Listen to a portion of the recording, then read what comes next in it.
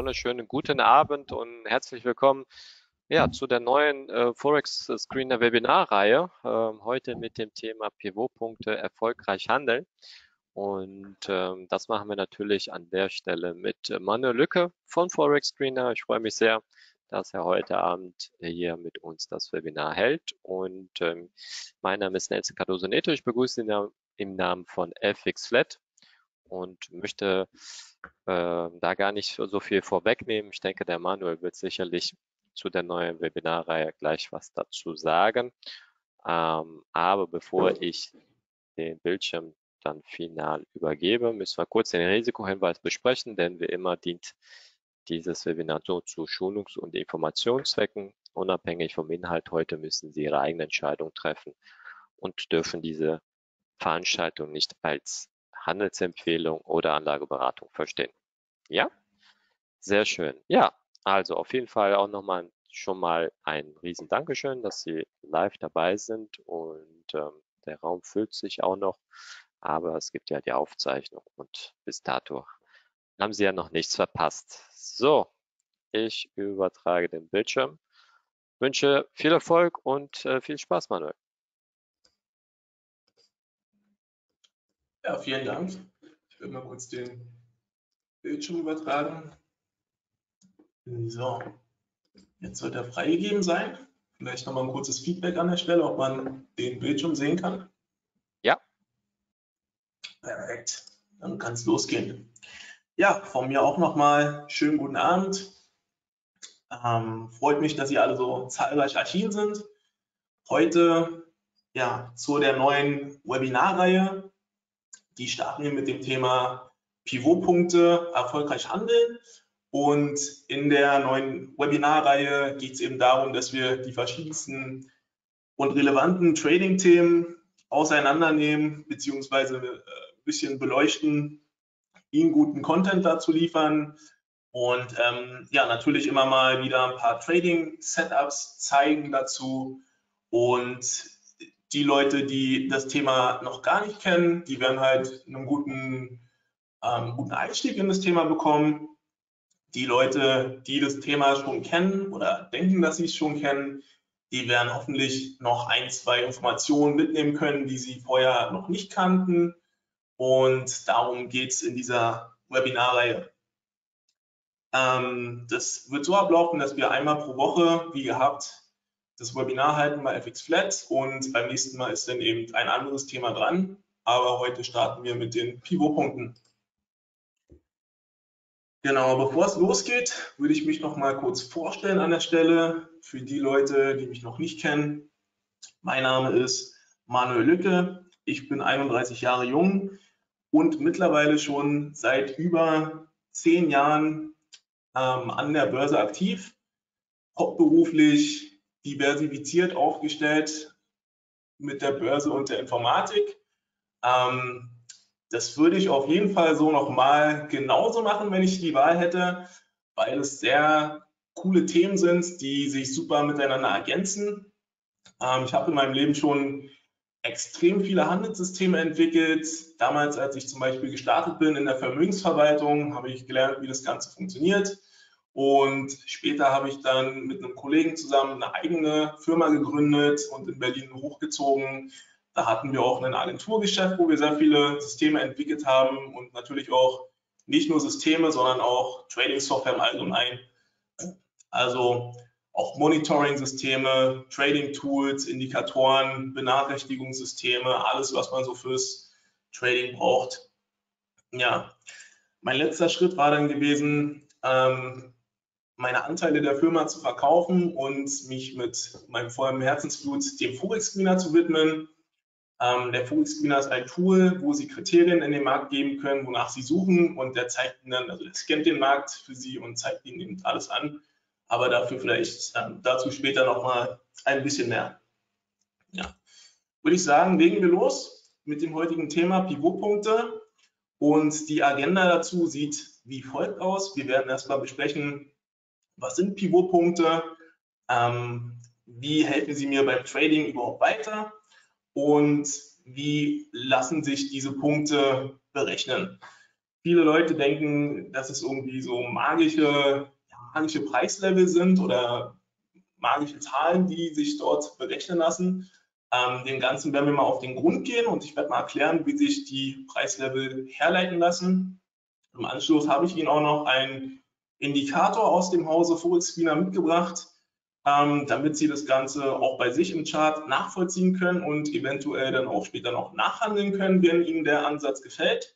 Und zum guten Abschluss, zum Schluss kommt dann eben das Beste. Da stelle ich noch ein paar Trading-Setups vor, nachdem Sie dann eben Ausschau halten können und ja, selber handeln können, wenn auch immer sich die Möglichkeit ergibt.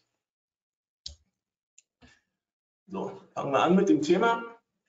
Pivotpunkte, man sieht den großen Chart und man sieht darauf eingezeichnet ja, viele Linien und diese horizontalen eingezeichneten Linien, das sind eben genau die Pivotpunkte. Davon haben wir sieben Stück und ich würde mal mit der in der Mitte anfangen. In der Mitte die gelbe Linie ist der Pivotpunkt P.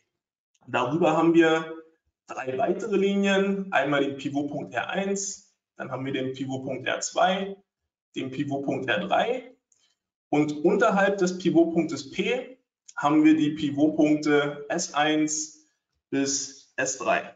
Also insgesamt sieben Stück an der Zahl und das R in dem Pivotpunkt, also in den oberen Pivotpunkten, steht eben für Resistance, sowas wie, also das heißt Widerstand. Und das S in den Pivotpunkten ähm, mit dem S steht eben für Support, also Unterstützung. Daraus kann man dann schon mal deuten, dass ähm, ja, die Pivotpunkte uns prognostizieren, wo der Markt eben seine Widerstände und seine Unterstützung, ähm, ja, wo er eben reagieren wird auf diese Widerstände und die Unterstützung. Und Dazu ist natürlich noch zu sagen, wir haben ja auch die vertikalen Linien eingezeichnet. Das sind die Tagesabschnitte in dem Chart. Und ganz wichtig zu wissen ist, dass die Pivotpunkte für den heutigen Handelstag, also der Tag ganz rechts, die berechnen sich eben aus dem Tag, ähm, aus dem Vorhandelstag, also aus dem Tag in der Mitte. Ähm, die Linien hier sind jetzt aktuell durchgezogen. Es wäre aber korrekter, wenn ähm, die Linien jetzt quasi einfach begrenzt wären bis zu dieser vertikalen Zone und quasi den Widerstand und die Unterstützung in diesem Bereich zeigen. Ich habe aber mal auch eingezeichnet, da das eben auch sehr wichtig zu wissen ist, dass die Widerstände, ähm, die werden auch so in dem Markt öfter mal angelaufen. Also ich kann mir die Preislevel für heute berechnen und dennoch kann man auch beobachten, dass zum Beispiel an diesem Support der Markt an den Tagen davor auch schon mal abgeprallt ist und das Ganze als Unterstützung genutzt hat. Und entsprechend kann man eben sehen, dass die Linien teilweise mehr oder weniger relevant sind. Also man sieht es eben, wie oft der Markt an einer Linie abprallt. Und das heißt ja auch, dort, wo gekauft wird, dort wird später mal wieder, wieder gekauft. Und dort, wo verkauft wird, dort wird später auch wieder verkauft. Dementsprechend kann man eben schauen, dass wenn die Linien komplett durchgezogen sind, wie signifikant die Linien sind. Und das sollte dann eben zu unserer Handelsentscheidungen ähm, ja, einen Einfluss haben, ob wir dann eben den Widerstand oder die Unterstützung handeln wollen oder nicht handeln wollen. So, dann schauen wir uns mal im nächsten Schritt an, wie das Ganze eigentlich berechnet wird, Pivotpunkte.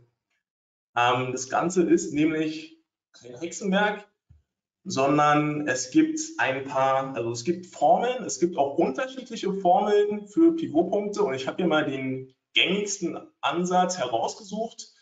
So haben wir quasi auch die Pivotpunkte im Forex-Screener berechnet, wenn man eben danach filtert. Und man kann hier eben sehen, also wir haben logischerweise sieben Formeln für die sieben verschiedenen Pivotpunkte. Und was wir brauchen, um die Punkte zu berechnen, sind eben das High, das Close und das Low von der Vorperiode. Also wenn ich für den heutigen Handelstag die Punkte berechnen will, nehme ich mir die High-Low-Close-Werte vom Vorhandelstag. Und das Ganze funktioniert natürlich auch auf Wochensicht, sodass ich mir für die aktuelle Handelswoche die Pivotpunkte berechnen kann auf Basis der Vorhandelswoche. In dem Beispiel ähm, betrachten wir aber immer das Ganze auf Tagesbasis. Und jetzt ist es eben so, dass wir uns die Werte nehmen und im ersten Schritt einsetzen in die Formel High plus Low plus Close, ähm, das Ganze addieren und dann durch 3 rechnen. Und den Wert, den wir dann daraus haben, das ist der Pivot-Punkt P. Und den brauchen wir für, jede, für jeden weiteren Punkt. Darauf ähm, basiert quasi die ganze Rechnerei. Ich habe mir mal das natürlich nicht nehmen lassen, hier noch ein kleines simples Zahlenbeispiel mitzubringen. Ähm, das Ganze soll natürlich nicht im Mathematikunterricht jetzt ausarten, sondern ich will gerne mal ein, ähm, ja, klar machen, dass man eine Sache versteht, die aus meiner Sicht ziemlich wichtig ist. Und zwar haben wir jetzt mal als Beispiel genommen, dass die, Vor, ähm, die Vortageskerze ein Hoch hat von 1,1. Das könnte jetzt ein Dollar sein oder ist jetzt einfach nur ein fiktives Beispiel. Der Close soll sein bei 1,0 und bei 0,9 ist eben das Low. Ähm, die Kerze müsste natürlich entsprechend hier jetzt schließen, ne? wenn man jetzt die Zahlen ernst nimmt. Also die, die Zeichnung stimmt jetzt hier nicht überein mit dem, wie die Zahlen gewählt worden sind. Und wenn man das Ganze in die Formel einsetzt, dann hätten wir jetzt alles addiert, macht 3 geteilt durch 3 wäre dann eben 1,0. Und dann würden wir so hervorgehen, und jetzt hätten wir den Pivotpunkt P, wollen uns den Pivotpunkt R1 ausrechnen, nehmen also zweimal die 1,0 und ziehen das Low ab und erhalten dann eben die 1,1, die dann hier liegt. Und im nächsten Schritt wollen wir uns den Pivotpunkt R2 ausrechnen. Jetzt nehmen wir uns die 1,0, den Pivotpunkt P und addieren quasi das High minus das Low drauf. Und hier ist ähm, ja, der Knackpunkt, der für viele vielleicht nicht direkt ersichtlich ist, aber das High minus das Low das ist im Endeffekt nur die ganze Handelsspanne von dem Tag. Also einmal der Markt von oben nach unten und das Ganze eben addiert auf dem Pivotpunkt P. Das heißt im Endeffekt, der Zusammenhang besteht, dass die Vortageskerze, die wird einfach auf dem Pivotpunkt P addiert, sodass man eben diese komplette Spanne hat. Und das ist dann unsere unser magisches Preislevel an dieser Stelle. Und wenn man das Ganze weiterführt mit dem Pivotpunkt R3, dann wird es eben so gemacht, man rechnet die Handelsspanne auf dem Pivotpunkt R1. Dann hätte man hier quasi die Kerze, also einmal hier abgebildet und dann hätte man die Kerze eben einmal hier abgebildet. Und so kommen die Preislevel eben zustande. Also kein Hexenwerk an dieser Stelle ähm, sollte man eben auf dem Schirm haben. Ich finde, dass ähm, ja, die Vorhandelshochs und Tiefs sowieso sehr signifikant sind, also signifikanter, als man eben so annehmen könnte. Genau. Ja, und da wir natürlich ähm, fortschrittlich arbeiten, wollen wir die Punkte natürlich nicht händisch ausrechnen jedes Mal, wenn wir sie brauchen, sondern da gibt es Indikatoren dafür. Ich habe hier mal einen mitgebracht und ich würde den Link einfach mal in ähm, das GoToWebinar reinposten, dass sich jeder den Indikator herunterladen kann, jeder, der es möchte. Mal kurz in den Chat schreiben. Ist an alle gesendet.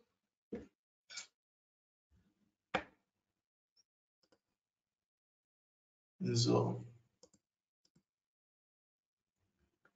Hier hat jemand geschrieben, kein Ton. Hört man mich mittlerweile? Nee, die ganze Zeit, alles gut. Perfekt. Okay, ja, wenn man dann den Indikator heruntergeladen hat, dann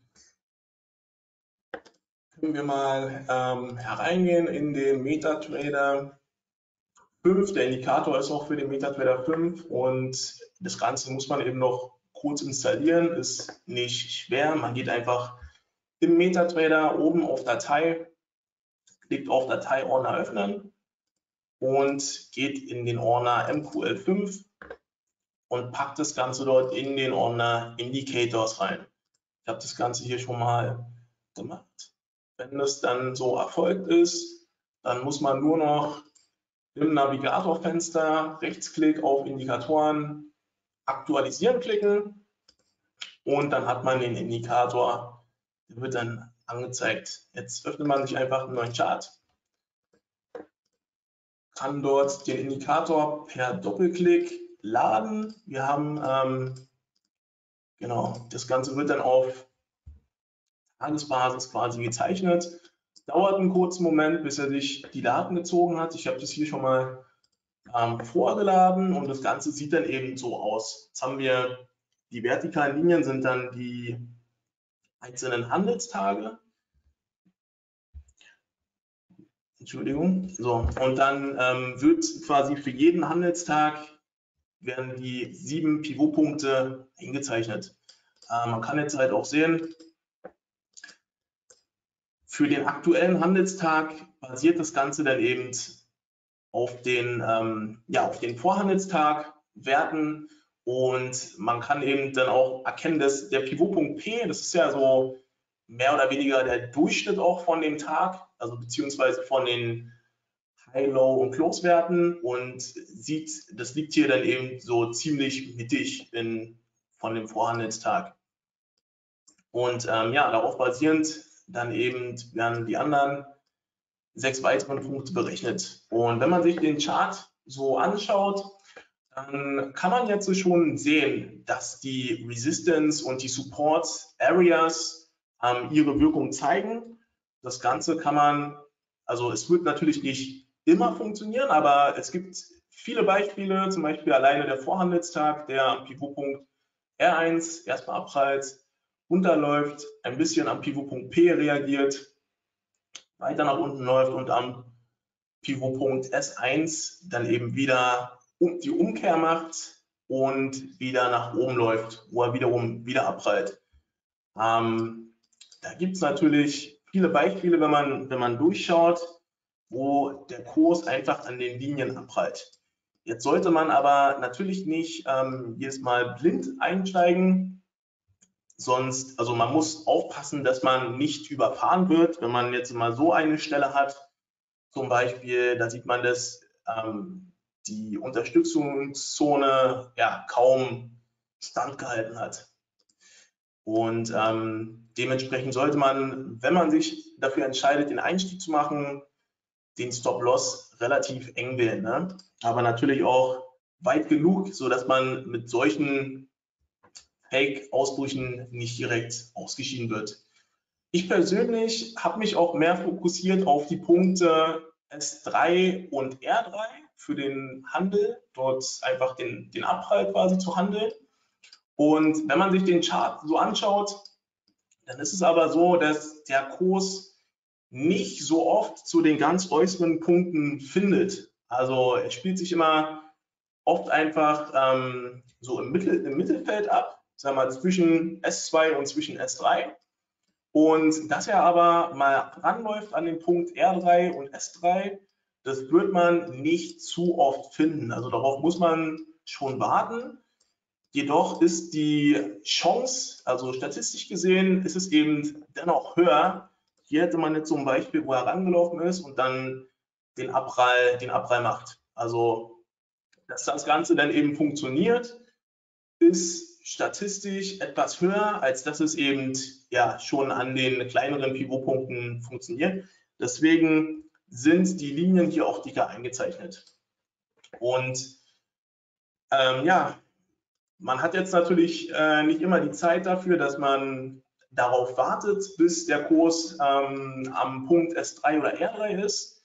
Deswegen würde ich natürlich auch empfehlen, eine Screening-Software zum Beispiel zu nutzen, oder das Ganze eben so zu automatisieren, wenn man es kann, dass man benachrichtigt wird, wenn der Kurs sich an einem der äußeren Pivotpunkte befindet, damit man eben schnell reinschauen kann, sagen kann, okay, das sieht mir nach einem steilen Anstieg aus. Wie weit soll der Markt denn eigentlich noch laufen? Wahrscheinlich wird er jetzt eher ähm, die Wende machen und ähm, dementsprechend möchte ich einsteigen. Und entsprechend würde ich mal kurz vorstellen, im Forex Screener hatte ich ja vorhin schon mal kurz angesprochen, Screening-Software, man gibt seine Kriterien rein, wie zum Beispiel, ich möchte mir jetzt äh, alle Märkte anzeigen lassen, die sich dicht an einem Pivotpunkt befinden. Und dann sieht man hier eben schon, wenn man in der Suche nach Pivot oder PIV einfach eingibt, dass man hier Pivotpunkte Filter hat. Und man könnte hier sagen, Screener, zeig mir mal bitte alles an, was sich sehr dicht an einem Pivotpunkt S3 befindet. Das Ganze vielleicht auch nur auf Forex gesehen im Zeitintervall M15. Und dann haben wir jetzt hier gerade kein Ergebnis. Schauen wir mal, ob wir das Ganze mit R3 finden. Wir auch kein Ergebnis. Dann schauen wir mal, ob wir den Filter etwas zu eng gesetzt haben. Ja. Hier könnte man jetzt schon mal ähm, sehen, dass wir hier fünf Ergebnisse gefunden haben und man sieht auch schon in der Vorschau, dass der Anstieg eben sehr ja, explosiv ist, also dass der Markt dort quasi so rausgerannt ist, sage ich mal. Und man sieht hier in dem Beispiel, befindet sich der Markt eben an solch einer Situation. So. Und ähm, vorhin hatte ich ja auch schon mal erwähnt, man sollte vielleicht nicht direkt auf den Knopf drücken, sondern es macht eben auch Sinn, dass man solche Setups kombiniert, beziehungsweise ja, ein richtiges Setup erstmal hat. Und davon würde ich jetzt an der Stelle auch mal ein paar vorstellen. Ähm, und wir gehen mal kurz in die Folien wieder rein. Ich würde jedoch an der Stelle auch mal kurz einen Blick in die Fragen werfen. Genau, und mal kurz die zwei Fragen, die hier angefallen sind, beantworten. Gibt es den Indikator auch für den MetaTrader 4? Ähm, den haben wir aktuell, da bin ich mir gar nicht sicher. Am besten mal per Mail unseren Support anschreiben. Dann können wir mal schauen, ob wir den Indikator auch für den MetaTrader 4 haben. Wir haben den MetaTrader 4 eben jetzt nicht mehr so im Fokus ähm, da, wir eben, da wir uns voll auf den MetaTrader 5 gestürzt haben, einfach weil der in der Zukunft dann halt länger überleben wird. So, dann sollte ich nochmal zeigen, wie der Indikator geladen wird. Da würde ich einfach den Chart, nochmal einen Chart aufmachen und FS Pivot, den Indikator anwenden. Dann dauert das Ganze einen kleinen Moment. Und wir können auch mal einen Rechtsklick machen und das Ganze aktualisieren. Dauert halt einen kleinen Moment, bis er geladen wird. Manchmal braucht der MetaTrader da ein bisschen länger. Mal schauen, ob es hier eine Fehlerausgabe gibt. Nee, eigentlich nicht. Ja, also müsste sich gleich aktualisieren. Kann ich gerade nicht sagen, woran es liegt. Ich hatte den auf jeden Fall vorher noch getestet und dort ging es. Ähm, in dem Beispiel, es ist hier auch der gleiche Indikator. Äh, ähm, ist das vielleicht, weil du im Daily bist? Oh, das äh, macht auf jeden Fall Sinn. Ja, Nelson, vielen Dank. Da hast du mich gerade gerettet. Ja, genau. Also muss man darauf aufpassen, dass man ähm, also in einem geringeren Zeitintervall als ähm, Tageschart ist, weil ansonsten berechnet er das Ganze nicht. Da könnte er entsprechend ja auch nichts einzeichnen, beziehungsweise es wäre sehr unübersichtlich, da für jede Kerze die Pivotpunkte dann eingezeichnet werden würden. Genau. Okay, dann haben wir es erstmal mit den Fragen soweit. Und dann werfen wir mal einen Blick in die Folien. Genau, und ich habe jetzt äh, an der Stelle ein paar Trading Setups mitgebracht, die für mich so ganz gut funktionieren, die ich so auch selber handle.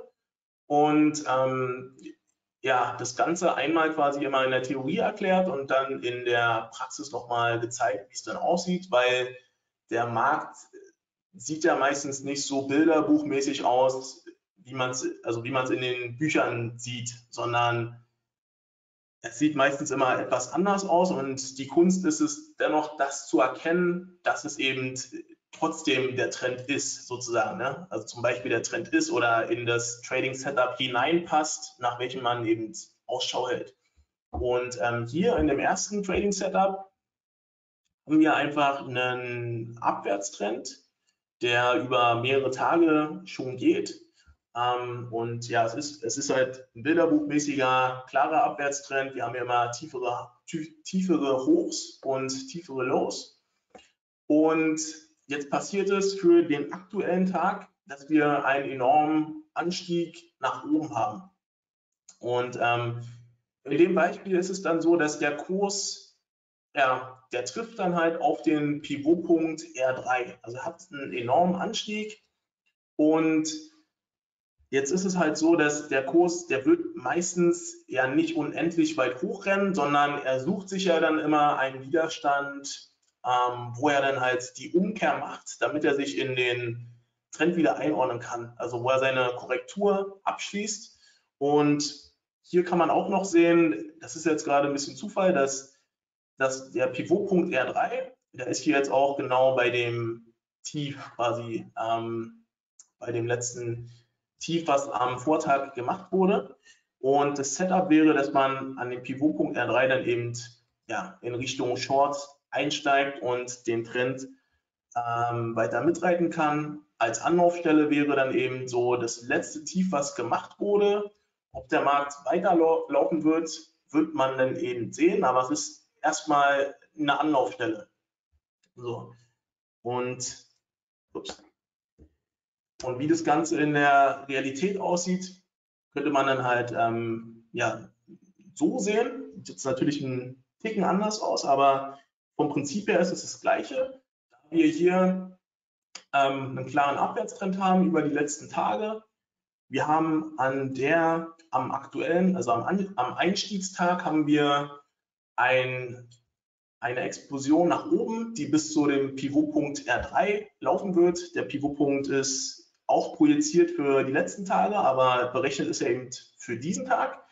Und er übersteigt in dem Beispiel jetzt auch das letzte Hoch, also das Vortagshoch, das muss aber eben nicht immer ein Problem sein.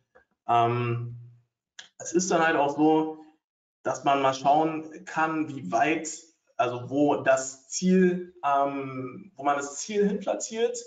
Da man ja auch weiß, dass die Pivotpunkte als Widerstände reagieren, macht es auch Sinn, dass man als Target eben einen von den Pivotpunkten selber nimmt. Also in dem Beispiel bin ich hier ein bisschen ja, zu früh eingestiegen. Ähm, oben habe ich aber nochmal per Limit äh, Short einen sauberen Einstieg quasi genau auf dem Pivotpunkt R3 gemacht. Und der Ausstieg war dann eben genau auf dem Pivotpunkt R1 gewesen. Und ähm, ja, das wäre jetzt quasi so ein Bilderbuch-Trade im, im Real Life, sage ich mal. Dann könnte man auch mal überlegen, wie man das Ganze ähm, im Forex-Screener finden kann. Also man könnte ja auch speziell jetzt danach eine Markt-Screener nutzen und danach suchen. Und als Filteridee könnte man hier zum Beispiel ähm, nutzen, dass man sagt, der Kurs, der soll jetzt in der Nähe sein vom Pivotpunkt R3 und beispielsweise soll der Kurs sich befinden am, sagen wir mal, am Vortagshoch. Dann können wir mal gucken, ob wir da vielleicht sogar was finden, was handelbar ist.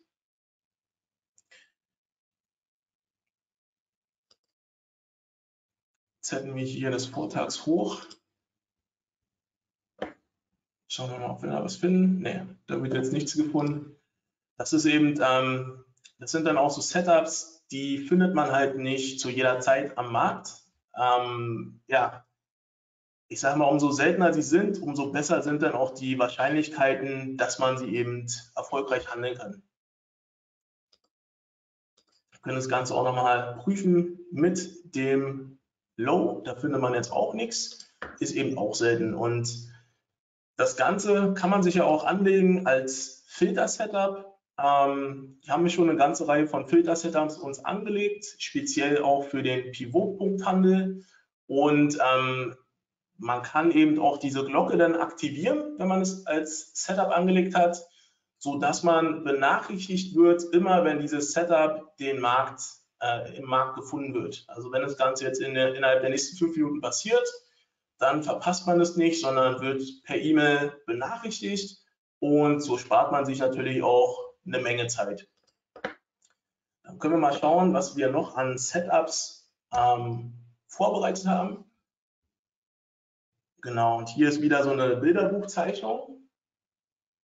Ähm, man kann eben erkennen, der Markt, der befindet sich hier in so einer Seitwärtsphase, also hat keine klare Richtung, dümpelt so ein bisschen rum über die letzten zwei, drei Handelstage und plötzlich kommt dann eben der Ausbruch.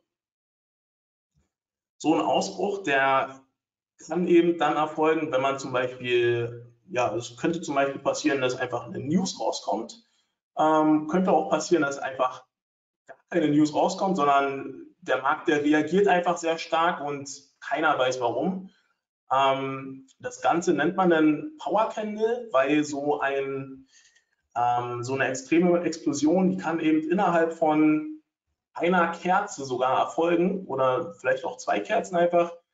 Ähm, ja, nur ist halt immer die Frage, wie weit so eine Kerze steigt. Und so, solche Power Candles, die haben auch immer was Nachhaltiges. Also wenn wir aus so einer Struktur ausbrechen und die Kerze rennt nach oben und schließt jetzt beispielsweise auch an den Pivotpunkt R3, dann ist es auch sehr wahrscheinlich, dass die Kerze erstmal reagieren wird oder diese Bewegung erstmal ähm, korrigieren wird und dann aber natürlich nicht komplett, also nicht wieder zurückrennt bis in die Struktur, sondern einfach mal kurz verschnauft und dann den, den, ähm, den Kursverlauf weiterfolgt. Ähm, so könnte man hier quasi im Ansatz sagen, wir haben eine Kerze oder eine extreme Aufwärtsbewegung, die ist sehr weit gelaufen und wollen am nächsten Widerstand, am Pivotpunkt R3, den Short Entry machen ähm, und gehen entsprechend am nächsten Widerstand raus. Oder wir warten auch sogar einfach mal ab, bis die Kerze am Pivotpunkt R3 reagiert, die Korrektur gemacht hat bis zum nächsten Pivotpunkt, in dem Falle R2 und steigen dann eben in die weitere Richtung ein. Hier ist es auch sehr empfehlenswert, dass man in den kleineren Zeitintervallen schaut, ähm, inwiefern, ja, inwiefern sich dort der Kurs verhalten wird, weil man kann auch mit den Kerzen auf den kleineren Zeitintervall eben schon erkennen, in welche Richtung die Kraft reingesteckt wird, also die, die Kaufkraft oder die Verkaufskraft. Und hier wäre so ein, so ein Beispiel entsprechend, wie es dann in der Realität aussehen würde. Das Ganze haben wir auch bekommen als Signal mit den, ähm, den Forex-Signalen. Und man sieht hier, wie gesagt, so eine Power Candle, die mit einer Kerze ähm, ja, so eine, so eine ganze Tagesrange, also Vortagesrange aufbaut. Und es ist bei so einer Bewegung auch nicht so empfehlenswert, dass man an dem, an dem Widerstand direkt short einsteigt, weil in den seltensten Fällen wird er quasi den Widerstand berühren und dann die Korrektur machen, sondern wie gesagt, sollte man hier vielleicht lieber, wie ich es hier gezeigt habe, das ist das gleiche Beispiel, einfach abwarten, bis der Kurs quasi reagiert, ähm, korrigiert bis zum Pivotpunkt R2 und dann kann man dementsprechend weiter long einsteigen beziehungsweise in die Kursexplosion mit einsteigen. Man kann es so auch häufiger erkennen, dass solche starken Kerzen, die haben einfach mal eine Verschnaufpause und wenn man dort sich gegen die Kerze stellt, dann ja, wird man vom Markt ähm, wird man ordentlich abrasiert.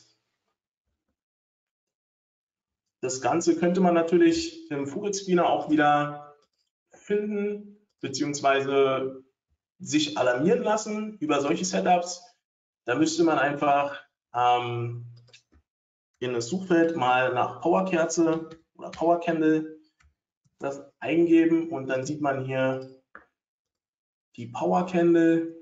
Ähm, da hätte man jetzt alleine für dieses Setup auch wieder kein Ergebnis, da sich, also es gibt am Markt gerade kein Setup, was so aussieht, aber ich habe in der letzten Woche auf jeden Fall eine Menge Signale dafür bekommen. Und wenn man dann gerade am Rechner ist oder man kann ja auch von unterwegs äh, handeln, wenn man gerade tradebereit ist, dann kann man den Trade eben starten. Vielleicht noch mal kurz Power Candle zur Erklärung. Als einzelne Kerze, wie das Ganze aussieht. Okay, wird jetzt hier gerade auch nichts gefunden. Nicht. Okay, gibt es gerade keine Power Candle, ist gerade der Markt einfach zu ruhig dafür. Ja, aber wie gesagt, es kommt eben auch darauf an, dass man solche Setups, ähm, dass man sich alarmieren lässt und dann verpasst man solche Trades eben auch nicht. So, dann kommen wir zum nächsten Setup. Trading Setup Nummer 3. Das sieht vielleicht so ein bisschen so ähnlich aus wie das erste Trading Setup, was ich vorgestellt habe, ähm, weil wir uns wieder in einer Abwärtsphase befinden. Und hier ist das Wichtige, wir haben hier quasi zwei Linien eingezeichnet. Und das Ganze steht dafür, dass wir einmal einerseits den Pivotpunkt S3 haben und der ist jetzt jedoch nicht der alleinige Unterstützer oder der alleinige Widerstand, sondern wir haben einen weiteren Widerstand. Also wir können das Ganze ja auch kombinieren. Und ähm, da kann man sehr kreativ werden. Zum Beispiel könnte man sagen, hier soll auch eine Preismarke liegen. Also die sollen sich quasi überlappen oder sehr dicht beieinander liegen, sodass man auch eine kleine Widerstandsrange hat. Und dann hat man quasi sowas wie einen, ja, wie einen Superwiderstand oder wie einen kombinierten Widerstand. Ähm, da kann man auch, also da muss man nicht unbedingt die Preismarke nehmen, sondern man kann auch jeglichen Widerstand nehmen. Es kann sein, dass man ähm, als Fibonacci Retracement der Vorwoche das 50% Level hat.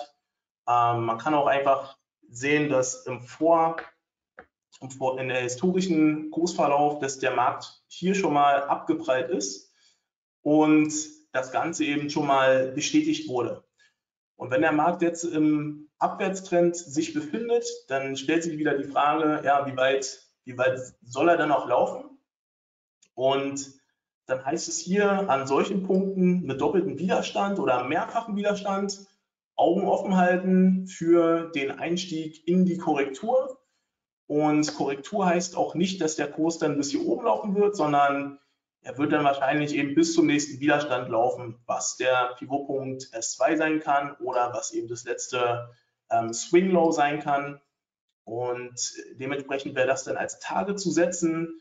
Beim Stop Loss muss man natürlich auch schauen, dass es halt nicht, nicht zu weit ist, aber auch nicht zu eng ist weil wenn er hier dann eben einfach ein Low macht, dann möchte man natürlich nicht direkt ausgestoppt werden, sondern natürlich drinnen bleiben. Sonst ärgert man sich und verliert auch noch Geld. So, jetzt schauen wir mal, wie das Ganze wieder aussieht. Hier haben wir ja einen doppelten Widerstand. Ähm, das Ganze ist quasi ja ganz einfach. Also wir haben jetzt hier Pivotpunkt S2, Pivotpunkt S3 und der überlappt sich hier mit, dem, mit der Preismarke. Und ähm, das ist dann entsprechend so ein ja, Einstieg, den man machen kann ähm, mit zwei Widerständen in Richtung Long und das Target wurde hier gesetzt am Pivotpunkt S2. So, dann habe ich noch ein Setup mitgebracht, das letzte. Es ist vielleicht auch gar nicht so ein Standalone-Setup, sondern mehr so eine Art Bonus oder ich sag, ich sag mal ähm, zusätzliches Verhalten an solchen Widerständen, an solchen Preisleveln. Ähm, das finde ich, also das ist eine Sache, die fällt sehr oft auf, dass man hier so eine Art Dot-Range hat. Also man hat hier den, den Widerstand bzw. Pivotpunkt Und man sieht schon, im ersten Anlauf geht er fast bis ran. Und danach kommt die Kerze, versucht, also titcht kurz rüber, dippt kurz rüber, schafft es aber nicht drüber zu schließen. Im zweiten oder nächsten Versuch genau das gleiche. Im dritten Versuch auch das gleiche. Also wir haben jetzt hier quasi, ja, man könnte es auch als Außenstab dann einfach sehen, der nicht mehr gebrochen wird. Ich finde es eben immer sehr interessant, dass man hier so eine ja, High-Dot-Range hat sozusagen. Und in der Area findet man sehr profitable Einstiege, wenn man dann eben in die Gegenrichtung handeln möchte. Und ähm, dafür haben wir auch einen Filter vorbereitet, den will ich mal kurz vorstellen an der Stelle. Der nennt sich, ähm, den findet man in der Gruppe Kerzen mit Dot Range. Und da hat man zwei Filter drin. Der eine heißt High Range Candles in Folge und der funktioniert eben genau so, dass man sagt, man hat drei Kerzen in Folge, wo sich die Dochte mit den Highs so überlappen, also wo die quasi so ineinander sind und der nächste, in der nächsten Kerze befindet sich der aktuelle Kurs genau in so einer Range. Und wenn man das Ganze jetzt kombiniert, dass man sagt, und zusätzlich will man noch an einem Widerstand sein, dem Pivotpunkt R3, das wäre dann quasi so ein Setup hier. Ich habe das mal kurz aus den Filter-Setups geladen. Ähm, dann können wir mal schauen, ob wir hier vielleicht ein Ergebnis finden. Ne, es ist wieder extrem selten. Also ich speichere in den Filter-Setups eben auch die Sachen, die nicht zu oft kommen ähm, und lasse mich dann einfach benachrichtigen. Und ähm, dann findet man eben solche Setups, wie ich es hier gezeigt habe. Also der Einstieg in der High-Docht-Range, der Einstieg eben in der High-Docht-Range und dann Richtung Short bis entweder zum nächsten ja, Widerstand und man sieht eben schon, dass es hier auch öfter so angelaufen wurde. Also mit der High-Loft Range hätte man hier auch schon einen Einstieg nach unten gefunden. Ähm, das ist eben, ja, das ist eben Gold wert, der Filter. So, dann schauen wir mal, ob wir noch mal Fragen haben, bevor wir weitergehen. Ähm, hier eine Frage, nutzen Sie das für Forex oder auch bei Aktien? Also der Forex-Screener, der lässt sich eben für alle Assets, die Sie im MetaTrader finden, nutzen. Ähm, damit können Sie eben alles scannen. Ich persönlich handle ähm, ja, bevorzugt Forex und Indizes, ähm, einfach weil ich damit ein bisschen vertrauter bin. Ähm, ich habe aber ab und zu auch Trades in den Stocks, also in den US-Stocks, deutsche Stocks oder auch niederländischen Stocks. Wenn ich da ein sehr gutes äh, Setup sehe oder halt benachrichtigt werde von den Signalen, dann gehe ich da natürlich rein. Das funktioniert genauso gut wie auch in den Forex-Märkten oder in den Indizes. Also das können, können Sie auf alle Asset-Kategorien anwenden.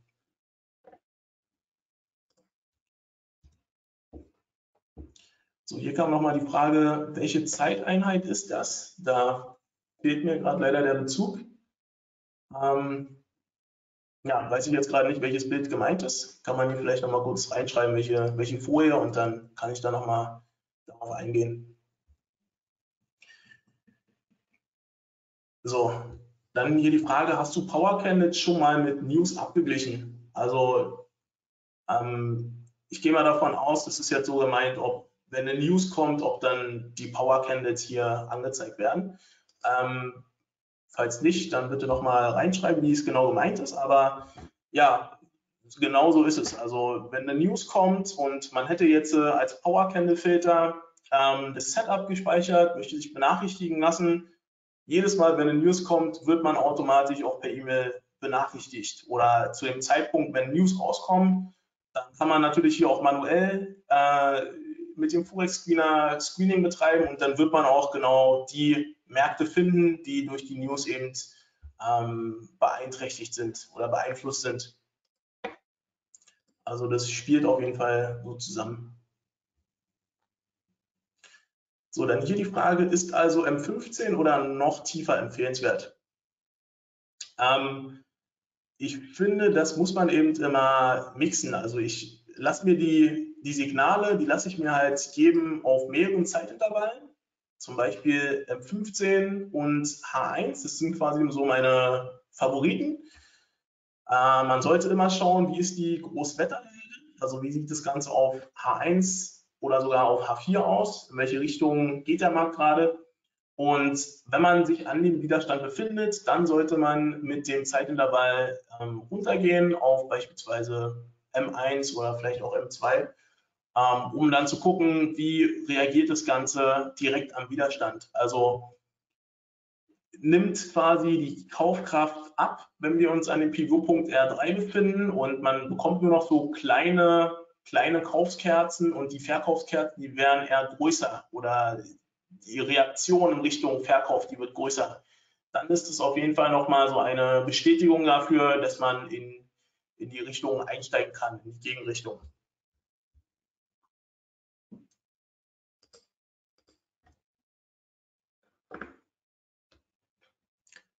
So, kleinen Moment.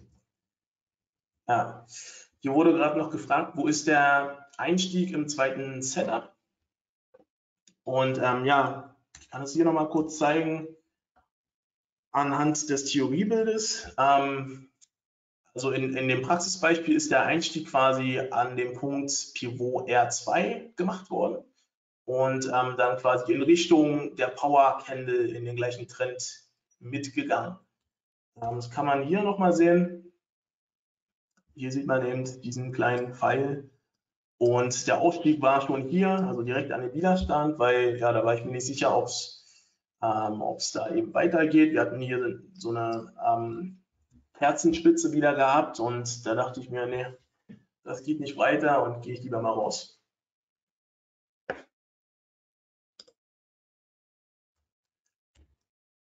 So, wie kann ich die Linienfarbe ändern? Wie bekomme ich den, die senkrechten Linien rein? Ähm, schauen wir uns mal an. Also im Chart, Rechtsklick, Eigenschaften. Und dann sieht man eben hier das Kontrollkästchen mit Periodentrennung verbergen oder Periodentrennung anzeigen, meine ich. Und äh, dann sieht man schon in dem Fenster, so bekommen Sie die vertikalen Linien rein. Und für den Indikator muss ich mal schauen, ob man das ändern kann. Genau. Also ich habe jetzt hier quasi Steuerung I geklickt, damit kommen Sie in die angewandten Indikatoren, ähm, können hier unter Eigenschaften hineingehen und dann haben Sie hier die Farben, die Sie für die einzelnen Pivotpunkte individuell einstellen können, sowohl als auch die Breite der Linien und den Stil.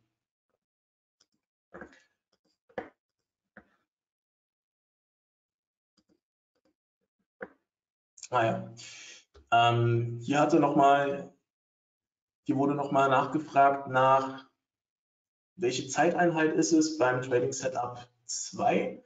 Genau, ähm, das, also dieser Screenshot hier, das müsste glaube ich die, ist es die Stunde? Aber ne, es sind hier zu viele Kerzen. Äh, das könnte M15 oder M30, glaube ich. Ich glaube, M30 müsste das hier sein. Und das hier ist ein sehr, das hier ist auf M5. Genau, das hier wurde auf M5 gemacht. Ähm, kann man auch runtergehen auf M1 sogar. Da sieht man dann halt, also ich finde, hier war das Bild einfach klarer gewesen für mich auf M5. Ich habe aber natürlich während des Trades auch auf M1 geschaut, um zu gucken, in welche Richtung geht die Kraft, ne? die Kaufkraft oder die Verkaufskraft.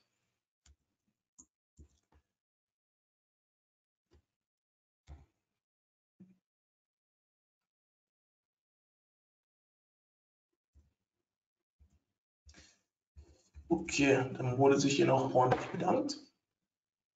Ja, kein Problem, sehr gerne. Dann würde ich sagen, gehen wir nochmal in die Folien rein. Ähm, die Trading Setups, die hatte ich jetzt alle vorgestellt, genau. Und dann kommen wir eben dazu, zur Webinarreihe nochmal zurück. Es geht ja eben, wie gesagt, darum, Wir wollen hier Content aufarbeiten für die Themen, die interessant sind für Sie und das Ganze eben nochmal beleuchten. Am besten wollen wir das dann auch in Kombination bringen mit ähm, dem Screening, damit Sie solche Setups eben auch finden. Von daher würde ich Sie einfach mal bitten, schreiben Sie in die Kommentare oder in den Chat ähm, hinein, welches Trading-Thema interessiert Sie, was sollen wir mal neuer, ähm, genauer beleuchten für Sie und vielleicht das nächste Webinar schon ähm, mit Ihrem Trading-Thema bringen. Also es können eben Sachen sein wie Handel mit SMAs, Durchschnitten, ähm, Fibonacci-Trading, Preismarken-Trading oder was auch immer Ihnen in den Kopf kommt. Können auch Sachen sein, die vielleicht noch nicht mal im Forex-Screener drin sind, äh, Ishimoku-Trading zum Beispiel. Und dann schauen wir uns das Ganze an, würden entsprechend noch die Filter implementieren und dann ähm, den Content dazu aufbereiten und in das nächste Webinar einfließen lassen für Sie.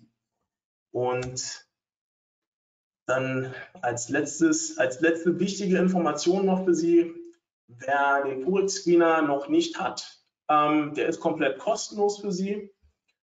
Ähm, vorausgesetzt, Sie sind Kunde bei FX Flat und handeln dort aktiv. Und dann können Sie einfach mal auf unsere Webseite gehen, forex-screener.de, ähm, können dort auf Registrieren klicken und können Ihren kostenlosen Zugang beantragen. Dann werden Sie in Kürze freigeschaltet, bekommen Ihre Zugangsdaten per E-Mail und dann können Sie quasi die gleiche Software nutzen, mit denen ich Ihnen gerade vorgestellt habe, wie Sie solche Setups finden können. Und ähm, dabei wird dann eben der ganze Markt gescannt mit allen Assets von FX Flat. Und wir haben auch ein Add-on im Angebot, komplett kostenlos für Sie, damit, Sie, ähm, damit sich der Chart im Hintergrund aktualisiert.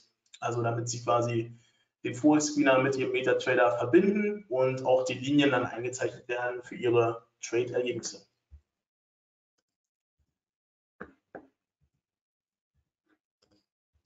So, ja, dann bin ich auch schon am Ende angekommen.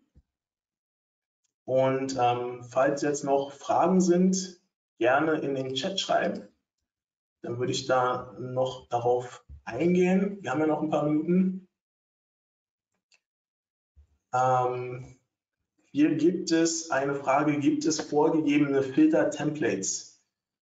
Ähm, nee, gibt es nicht, ist aber an sich eine gute Idee. Also vielleicht für Leute, die ähm, noch neu sind in dem ganzen Screening, dass man da so ein paar Defaults hat, ähm, wir haben aber auch Anleitungen, ähm, wie man eben das Ganze einstellt. Da kann man mal auf unserem YouTube-Channel vorbeischauen. Dort haben wir auch ein paar Trades vorgestellt. Ähm, ich kann mich erinnern an Gap Trading, Preismarken Trading, Fibonacci Trading. Da sehen Sie dann auch die Filter-Setups und dementsprechend, wie die ganzen Filter eingestellt sind und können das Ganze dann auch nachmachen. Ansonsten können Sie auch gerne vorbeischauen auf unser Instagram-Profil. Das ist noch sehr frisch. Da können wir noch ein paar Follower vertragen. Und da liefern wir natürlich auch ähm, guten Content, also Ausschnitte, die Sie jetzt äh, gesehen haben, ähm, erhalten Sie dort. Ähm, und wir posten dort auch unsere Vogelscreener-Signale. Also immer, wenn wir mal ein gutes Signal bekommen, jetzt natürlich nicht alle, aber immer, wenn wir mal ein gutes Setup bekommen, was wir dann teilen wollen mit unserer Gefolgschaft, dann werden Sie das auch in den Stories sehen. Okay, ja, dann bin ich auch schon am Ende angekommen und würde mal noch zum Schluss sagen, hat mich sehr gefreut, dass es hier so ein großes Interesse gab an dem ganzen Thema und ähm, sieht so aus, als würde die neue Webinarreihe sehr gut bei Ihnen ankommen. Von daher freue ich mich natürlich schon nächsten Monat mit dem neuen Thema ähm, auf Sie zuzukommen. Und falls es zwischendurch noch Fragen gibt, können Sie sich natürlich jederzeit an uns wenden. Mail at screenerde oder auf unserer Webseite. Und ähm, ja, dann wünsche ich Ihnen noch einen schönen Abend. Bleiben Sie gesund und viele erfolgreiche Trades natürlich. Ja, Vielen super, Dank. Manuel. Vielen, vielen Dank. Äh, dem schließe ich mich an. Äh, hat mich natürlich auch sehr gefreut, dass ähm, das Interesse sehr groß war und äh, deswegen freue ich mich umso mehr auf den nächsten Termin mit dir. Und äh, ich wünsche natürlich den Teilnehmern auch noch eine erfolgreiche Woche, noch einen schönen Abend. Passen Sie auch für die Trades auf und bleiben Sie gesund. Bis zum nächsten Mal. Dankeschön. Ciao.